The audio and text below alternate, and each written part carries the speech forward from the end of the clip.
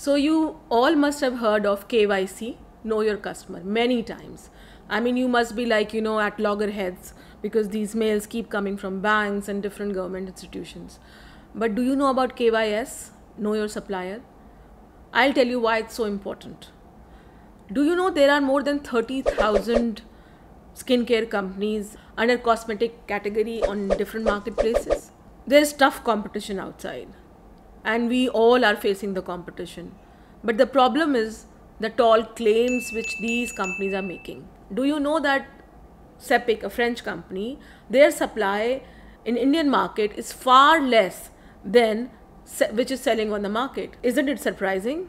I'll tell you how it happens. So these are the hair serums, face creams, face serums which are selling in the market and they all are claiming they are using Seppic products or example any other multinational company products and look at the percentage and look at the value of these products. Do you think there is any match?